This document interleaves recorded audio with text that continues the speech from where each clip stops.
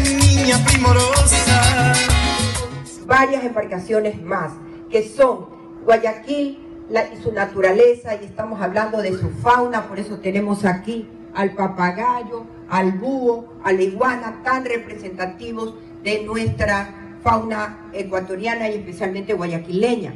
Tenemos una Guayaquil tropical, una Guayaquil alegre, una Guayaquil musical que está representada precisamente por su gente.